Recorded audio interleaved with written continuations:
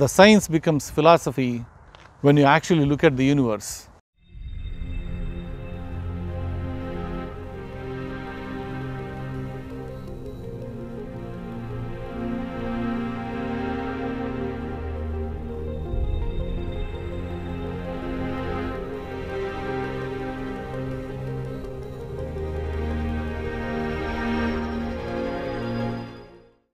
Hey guys, uh, good morning. It's amazing how quickly the weather change on this planet.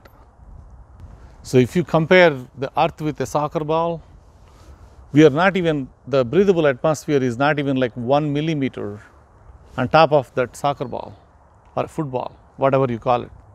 Beyond that, it's just empty space. When we look at this tiny planet, and I wonder as human beings, are we supposed to see the universe around us?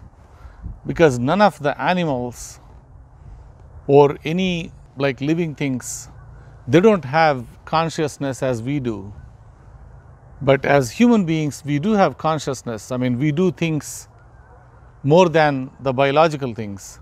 We can understand, we can make sense out of things.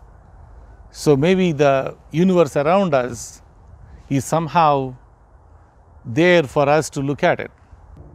When, when we look at the universe, the thing that amazes me always is we are not looking at the present, we are looking at the past. So, the closest object, let's say the sun for us, we are seeing sun that is 7 minutes or 8 minutes old. So, it takes light 8 minutes to come from sun to earth.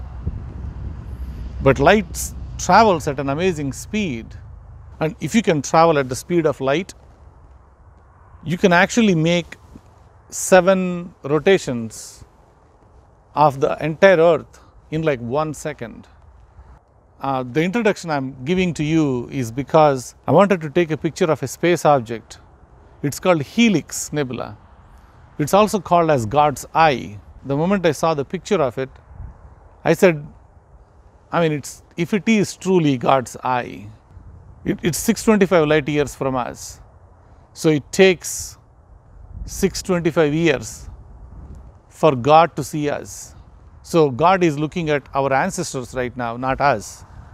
And at the same time, we are looking at, I guess we are looking 625 years back, how God was. The science becomes philosophy when you actually look at the universe. Anyway, so I wanted to actually use RASA to take the picture of Helix Nebula.